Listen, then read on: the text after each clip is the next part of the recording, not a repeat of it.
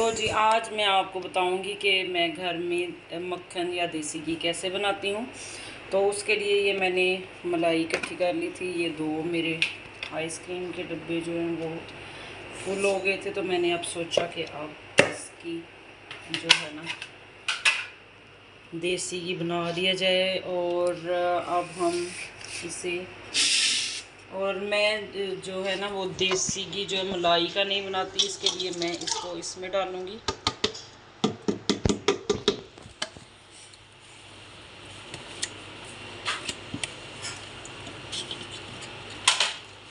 अब हम ये इसमें डाल देंगे।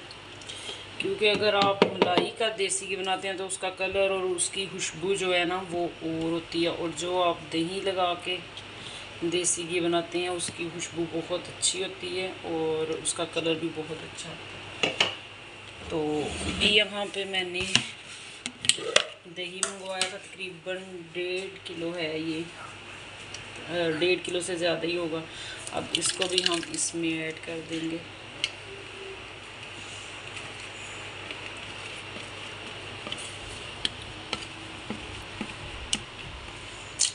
I don't like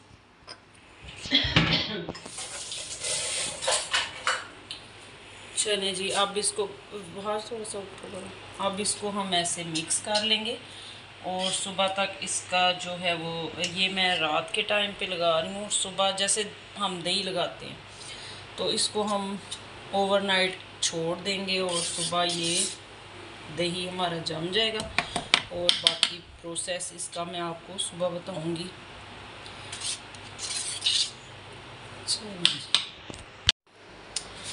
ये जी यहाँ पे अब मैं इसे रख दूँगी ओवरनाइट तो सुबह इसका दही जम जाएगा और हम इसका बनाएँगे मक्खन और उसके बाद इसका हम बनाएँगे देसी घी। जिसने मक्खन यूज़ करना हो मक्खन भी कर सकता है, लेकिन मैं इसका देसी घी बनाऊँगी। तो चलें, मिलते हैं सुबह। अस्सलाम वालेकुम एवरीवन, कैसे हैं आप सब? आई होप आप सब ठीक होंगे। हम भी अल्हम्दुलिल्लाह बिल्कुल ठीक हैं और आज देख सकते हैं आप कितनी तेज़ धूप है और गर्मियों का हो गया है मौसम स्टार्ट। तो अब सारे अपने जो है ना गर्मियों से बचने के लिए तदाबीर शुरू कर दें। तो अभी मैं देने लगी हूँ पौधों को पानी। अभी मैं डाल रही हूँ परिंदों के लिए पानी। क्योंकि जैसे कि मौसम इतना ज़्यादा अब गर्मी वाला हो गया तो दिन में दो दफ़ा तकरीबन सुबह और शाम ये पानी खाली हो जाता है परिंदे पी लेते हैं और पानी डालना चाहिए परिंदों के लिए। क्योंकि वो भी प्यासे होते हैं तो जहाँ से पानी मिलेगा तो चलो हमें भी कुछ नेकियाँ मिल जाएँगी। तो भी मैंने डाल दिया है। परिंदों को पानी और अभी हम चलते हैं अंदर और जो मैंने रात को देसी घी बनाना था वो भी बनाते हैं।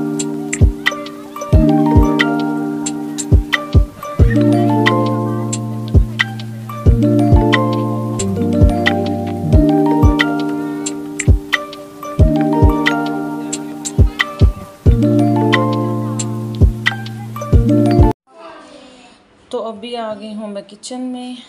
तो ये है हमारा दही। ये देखें, अभी हम इसको अच्छी तरह से ये हैंड ब्लेंडर से ब्लेंड करेंगे। ये है मेरे पास फिलिप्स का हैंड ब्लेंडर तो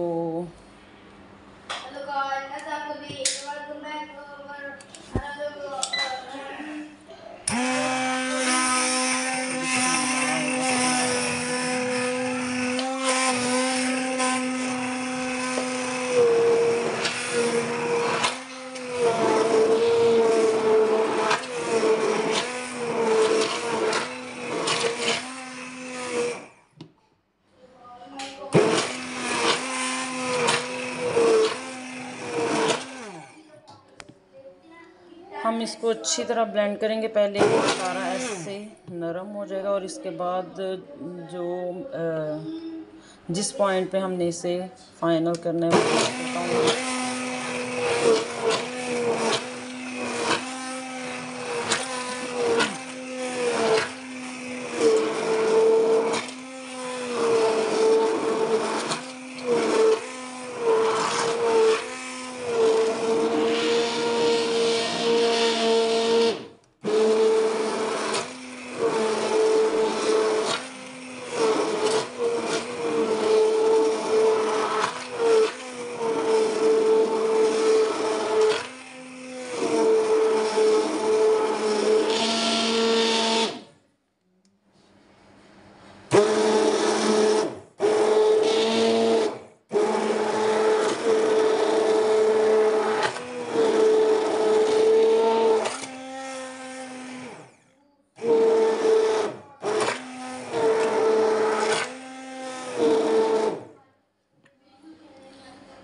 ये देखें जी, हमारा मक्खन थोड़ा थोड़ा सा अलग हो रहा है, जैसे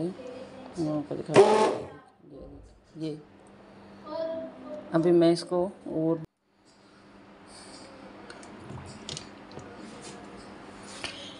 अच्छा जी, इस पॉइंट पे हम इसमें ठंडा पानी डालेंगे। गर्मियाँ हो तो ठंडा पानी डालना है और अगर सर्दी हो तो इसमें नीम गर्म पानी डालेंगे।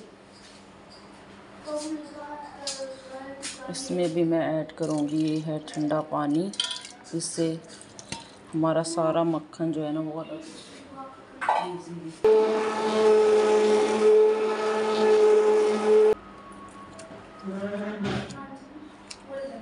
इसको मैं थोड़ा और ठंडा करूँगी, फिर इसमें से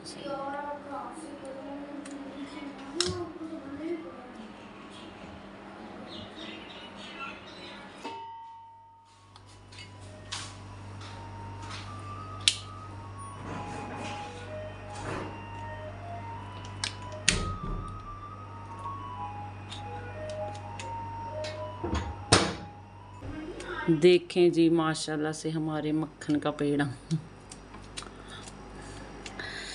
इसे आप साग पे भी रख के यूज़ कर सकते हैं और पराठे पे भी, लेकिन मैं इसका घी बनाऊँगी देसी घी। अब हम ये सारा निकाल लेते हैं, फिर आपको दिखाते हैं। एक मिनट ये ये देखिए चलो मैं जब सारा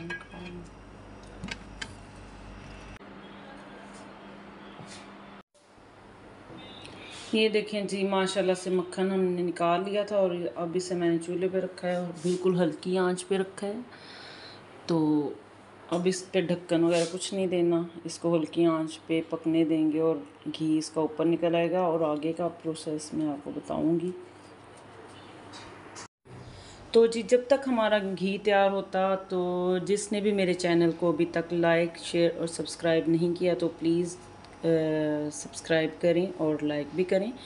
और कमेंट भी किया करें ताकि मुझे पता चले कि अभी तक मैं कैसी वीडियोस बना रही हूँ और उसके अलावा मुझे अभी क्या करना चाहिए अच्छी अच्छी वीडियोस बनाने के लिए जो आपको पसंद आए।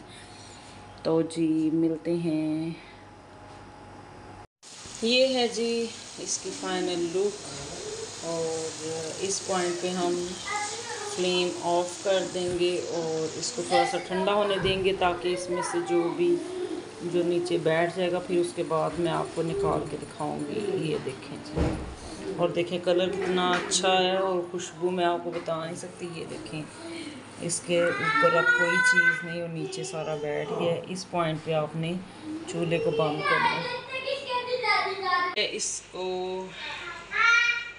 स्टैंड करने स्टेन करने की ये देखें जी। ये है हमारे घी की फाइनल लुक